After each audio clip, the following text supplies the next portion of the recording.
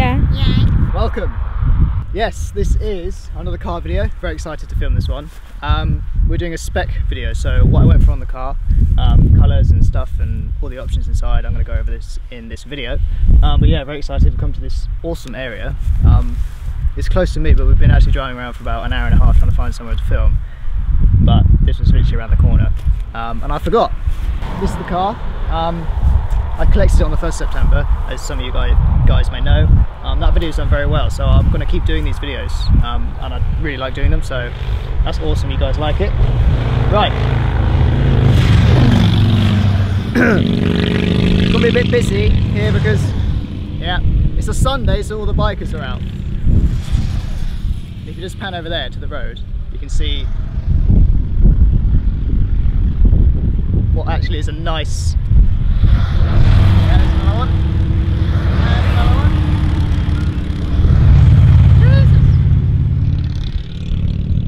I used to come down here and bomb my RS3 down here. I really miss those days. But anyway, it's four by it's four by four vibe at the moment. Um, yeah. First of all,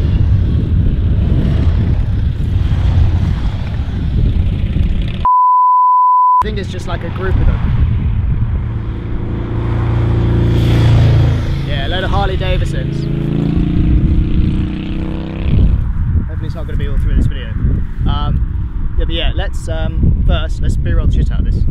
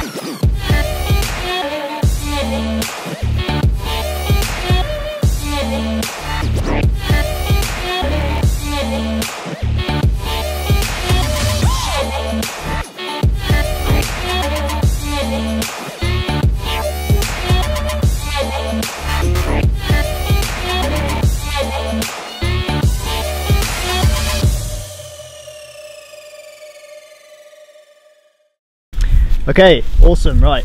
Let's start with the actual model of the car. So it's a Range Rover Velar. Um, it's a, an SE R-Dynamic D240. So what that means is you get the R-Dynamic pack on it and you can get that in S, SE and HSE. Um, and then you get the, the standard Velar which comes in S, SE and HSE. So there's kind of different things. So I went for the R-Dynamic pack, the SE and the diesel engine which is the D240 so it's 236, 240 brake um, two litre diesel engine obviously and it's got the AdBlue tank as well um, which makes the diesel a little bit cleaner. Um, I didn't go for the D300 which is slightly faster but it's I don't think it makes that much of a difference. Um, it's better fuel economy in this anyway. The only thing when you go up to the 3 litre engines, the D300, you do get the air suspension. So on this one I haven't got that but I'd rather spec other things than, the air suspension, didn't really make sense to me. Um, I'd rather like like the look of the car more aesthetically than kind of techie underneath the bonnet and stuff. I always like to spec my cars. I've always spec my cars from factory. That's what I like doing. Um, so they are mine, and I've designed them myself. So yeah, D240 SE Velar R Dynamic. So let me talk you through the R Dynamic. So on the R Dynamic, you get kind of a different roof spoiler, and it's got a little um, it's got little holes at the top don't worry, when I'm going around this, I'll show you other clips so you can see it better. Um, what else is on R Dynamic? You get, so also on R Dynamic, you get this strip here, this strip, and with the R Dynamic you get copper accents as well. So you get copper here, you get copper here, and you also get copper. It's not actually copper, it's just copper colour accents on the front here, which I really, really like. Um, and as you come around the front, this is where the part you can tell, which is um, which is actually the R Dynamic. So the the bottom front splitter is different. You get fins coming out here. There's a little bee there. Hello. it's dead. Yeah, you get this seal across here. You get a different grill at the bottom. Again here with the fins coming out and these bits here. Um, other things on Dynamic you get is the black plates. The again the copper accents. It says Range over there. Also R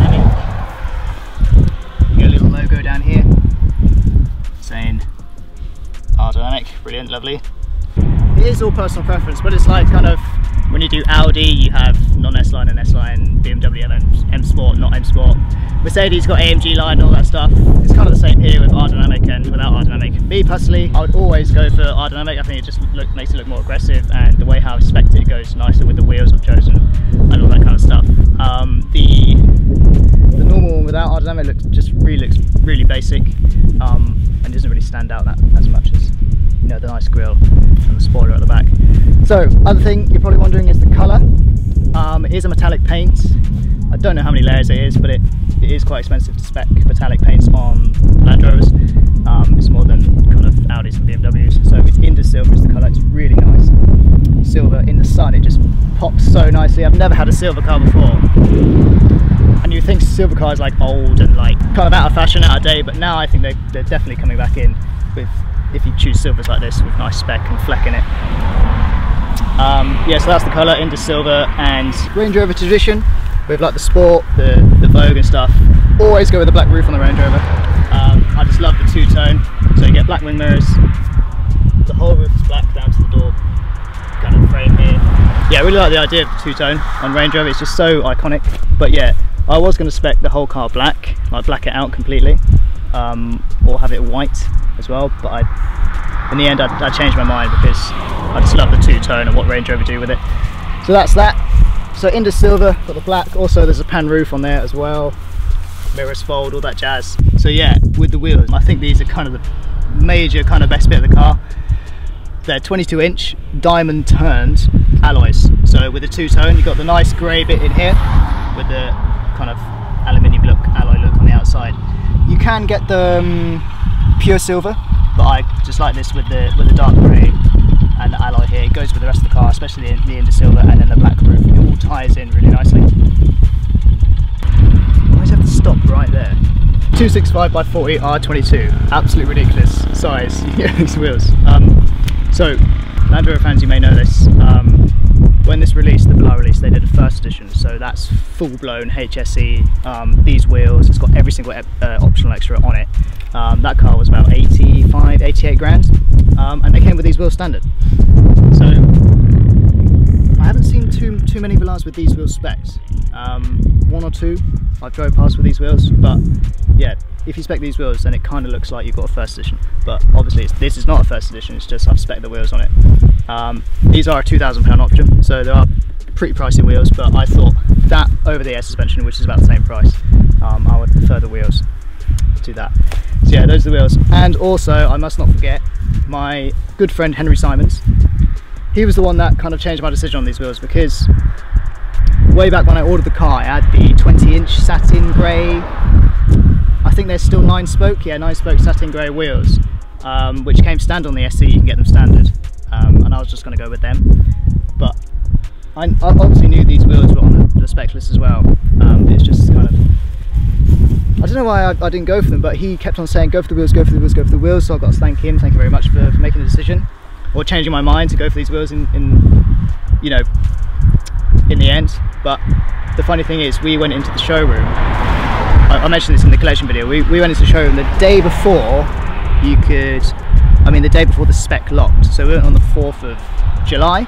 The spec locked on the 5th. So it was so crazy that I was able to get in there and change the, the spec on the wheels before the actual spec locked. I had no idea whatsoever. So it's a big coincidence there. Um, so yes, thanks very much Henry, thanks for both Simons. Also I want to mention another thing about the outside, the exterior.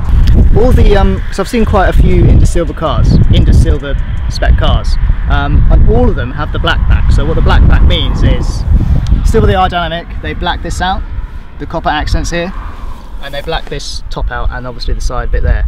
Um, I didn't want to do that, I wanted to make it different because I, the reason why I spec the R-Dynamic is because of these copper bits here. Um, and I really like that so I didn't want to lose them so I kept those on there.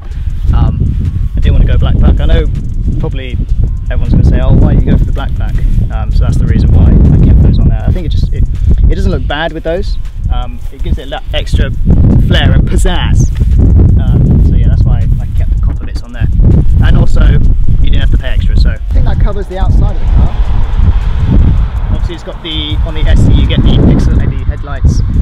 They're a bit like the Matrix headlights you get on Audi. Um, with these, they, they actually work really, really well. So when a car's coming towards you and you've got your full beam on, it actually, where the car's coming, it blocks out a section of your, of your headlights, so little squares duck down and it makes like a, a tunnel for the car to go through. Um, it works pretty well. Well, there's only been a couple of times when I've been behind someone and it's their, their lights are really, really dim and shitty, so sometimes it doesn't, doesn't detect it when there's lights in front of you, but that's only when the, the, lights of the car in front of you are really like dim and stuff, on like an old banger. But yeah, it works really good. Some people do flash me when I'm coming towards them. I think it's because Land Rover's got really, really bright lights. Um, they used to flash me in the Audi as well. But yeah, they work really good. Oh yeah, you got the doors. So so it's the new thing that um, Land Rover Range Rover doing. Can, the doors fold in and they're flush to the body, which I think is quite cool. Obviously, it's you've got the comfort access or whatever it's called. You don't have to press the button just when you're near it. You can open the doors. Um, if you come around the back, it works the same with the boot. If you wiggle your leg under here gracefully, the boot will hopefully open. There we go. There it is. It works on both sides. It's like a sensor down here. Sometimes you miss it, sometimes you get it. Um, but yeah, that's how the boot opens. Then if you want to close it, yes, first time, there we go. Right, so I think that covers the exterior of the car. I hope this is not too boring. Um, but yeah, if you wanted to get one of these cars, I just want to kind of cover the whole thing um, and go through it really. Okay, right, let's start with the interior then. So this is the back. Um, as you see, this is the, I haven't configured the interior as in like executive seats or anything like that. It just comes like this. These are the SE seats. Um, you can get uh, the HSE seats, which are full leather, but I kind of like the Alcantara here, like this velvet kind of look, and the perforated leather. Um, so that's what I went for. I didn't want to go for the HSE because the whole seat is kind of leather, and I like these contrast accents. It also goes with the black roof and the wheels as well. Um, so yeah, it's, it's a nice kind of contrast inside here. So what it is, it's the ebony and oyster seats. Of it's leatherette, part of it's leather, I'm not sure. Um, it might all be leather actually. Um, but yeah, this is kind of Alcantara veneer stuff. Kept the tag on it. there it is. Um, yeah, my mates challenged me to keep that tag on until I sell it. So yeah, there we go. so yeah, electric pan roof, um, opens fully. Then you got the sun blind as well, which is quite cool. Every time you turn on the car, it opens for you, and when you lock the car, it closes. So that's pretty nice. Into the front. Also, when you're at SE level, this um, you maintain the little patterns in here, which is really nice. It's like little diamond patterns, so you get that here, also through to here, on there, and out through there. So when you do HSE, this all goes to leather, and this goes to leather. You don't get any patterns. You get one line of stitching going through here, I think. But this is why the reason I kept the SE version because I like these little diamond patterns. If you have HSE, you then can't spec back to this. So I kept it SE. Also, when you when you spec the SE, it's got the upgraded Meridian sound system, um, which is quite cool. Nice silver speaker down here, and you've got a little tweeter up here, which is there. Um, also, if you look at this in a different way, it kind of has the, well, not kind of, it does have the um, Union Jack in there, um, the flag. So yeah, and also this, I spec this, um, which is the satin charcoal ash veneer. Um, standard is just the brush aluminium one, but I wanted to spec the black and the kind of exposed wood because it goes again with the with the black roof um, and the two-tone wheels as well. Uh, also, you get this tread plate seal thing. It says R Dynamic. Um, I don't. It doesn't light up. I don't think. Um, but I do get the I do get the uh, puddle lights under the wing mirrors. It displays like a circle with a little picture of a um, silhouette of a Velar, so which is quite cool. Let's go around to the passenger, uh, the driver's seat. I don't know how long this video is going to be, but I hope, I hope I'm not boring you. Right, so basically the same. I've got so this is all SE. I haven't really spec'd anything apart from the the satin ash stuff. Uh, and that's it. I mean, if you spec SE, it comes with um, electric seats. It comes with memory one, two, three on the driver's side, uh, folding door mirrors and all that stuff. So that's you you're covered there if you spec the SE version. Um, and and again with, with the HSE, you don't get too much else. You, only get the leather, which is on here, and you get you get memory passenger as well. But I think that's it. Um, you may this is I think this is 10 way on the HSE it might be 16 you can change a little bit more with the seats more kind of variance in the seat. But I mean you don't really need it. It goes forward, no, it's not on it forward back up and down. This also comes out um, and all your stuff with that heated seats standard all that stuff. Um, so the other things I spec with the interior is the configurable, configurable ambient lighting. So you can change all the colours. I think there's about 10 colours you can change red blue orange and all that stuff. Comes with the three screens as you know they're doing with Range Rover the new stuff. Um, it's out on all models now. The the Velar the Sport and the Vogue. Actually yet to come is the Evoque which is coming out later this year or something. Which will have the three screens. So you've got a screen in here bit like the Audi virtual cockpit screen in the middle and then you've got another screen there and you've got your gear, gear knob thing there which is quite cool, it pops up when you turn on the car. Um, but yeah, I think that's about it. The only things I spec inside with it with the satin ash and the configurable lighting, I think. Oh, obviously, and the pan roof, which had to spec as well. Um, yeah, so really. Adaptive dynamics. Yes, adaptive dynamics. Thank you. So yeah, with adaptive dynamics, that was a thing because this is a 19 model year Velar. Um, and if I didn't spec the adaptive dynamics I, I, would have to wait until kind of November time which is next month um, or even next year actually so it makes the car kind of more stable through the corners um, when you're going at high speed and stuff um, it kind of firms up the chassis when you put it in dynamic mode um, and sport mode so it is pretty good with this car because I've driven the the Vogue the big guy um, and that's that has a lot a lot of body roll this one you, you wouldn't expect like it to drive like this. It actually drives like a little sports car. It's, it's insane. Um, and I drove a what was it, a Maserati Levante a year back or so. It's kind of similar to that actually.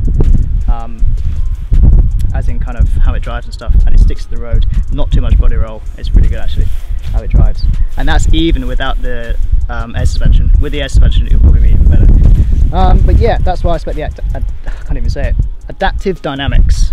Um, it wasn't a costly option, it's just an option where I can get the car earlier and um, has what kind of driving dynamics. As it says in the brochure. Right, cool. I've done 3,000 miles already in a month and a half. um, but yeah, it's, it's good, it's going well.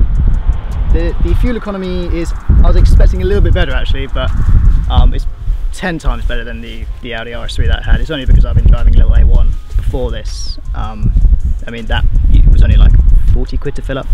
Um, and you get 400 miles out of it. I'm getting about 380, 390 out of this, and the tank's like 60, 69, 69, 69 quid. So it's not too bad. It, like, it lasts me for about a week. Um, I'm okay with that. Um, as you know, I do a lot of miles, so it's a good. It's actually a pretty like if you want to have a daily car, this, I mean, if you like 4x4s, Range Rover is spot on. Um, a little bit sporty, obviously, you go for like a Porsche Macan or something, but yeah, I'm really enjoying it. right, so this video is going to be probably 21 minutes long. But yeah, I just want to give you a little insight on, on the car and stuff. I mean, I like making these videos on cars. I'm, you know, I'm really into it um, with my cars and stuff. So yeah, and I had a few comments on my collection video that they wanted a spec stuff, a spec video for me to do. So yeah, I think that covers the car. Yeah. I don't think there's anything else. I could mention the plate actually. Seen my in my collection video, I collected it without the plate and it looks so good without the plate on the front. This is just the, the normal register for September, the 68 plate. I have um, my own private plate if you guys remember from the RS3 videos. I will be putting that back on.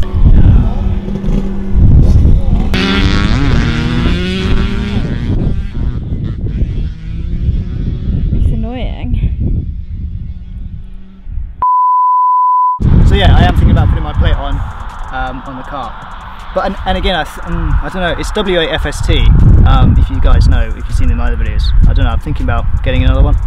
Um, I think it just says like on my RS3, people used to joke about it and say, "Oh, it's just put a plate which says fast on it," because my initials are FST.